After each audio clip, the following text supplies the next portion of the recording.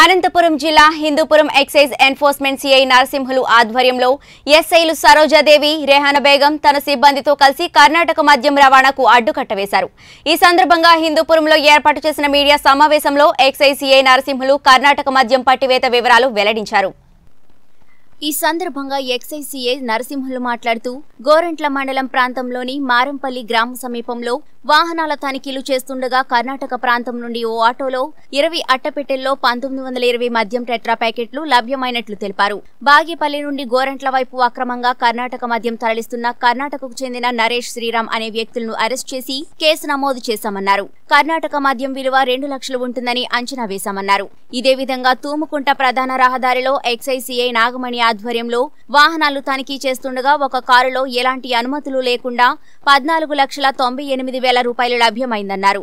ఫ్యాక్టరీకి సంబంధించిన కార్మికుల వేతనాలను పంపిణీ చేయడానికి తీసుకువెళ్తున్నామని బాధితులు తెలిపారన్నారు. అయితే ఎలాంటి అనుమతులు లేకుండా తీసుకువెళ్తుండటంతో నగదు సీజ్ చేసి కేసు నమోదు చేసుకుని దర్యాప్తు చేపడుతున్నామని సిఐ నరసింహులు తెలిపారు. వ్యక్తులు సుమారు ఇరవై బాక్సుల మద్యమము గోరంట్ల మండలాన్ని తరలిస్తుండగా పట్టుకోవడం అయింది వాటి విలువ సుమారు రెండు లక్షలుగా ఉంటుంది. ఈ ఈ మద్యాన్ని గోరంట్ల మండలంలోని వివిధ ప్రాంతాలకు తరలి తర ఎన్నికల సందర్భంగా తరలించేందుకు పై- వస్తుంటే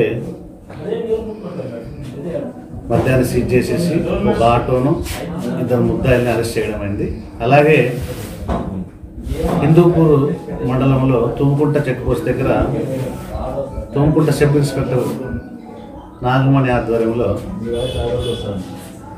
అక్కడ వాహనాలు తనిఖీ చేస్తుండగా బెంగళూరు నుంచి సురేష్ అనే వ్యక్తి సంజయ్ కుమార్ అనే వ్యక్తి పద్నాలుగు లక్షల తొంభై ఎనిమిది వేల రూపాయలు హిందూపూర్ తీసుకొస్తుండగా దానికి సరైన రసీదులు లేకుంటే సీజ్ చేయడం అయింది.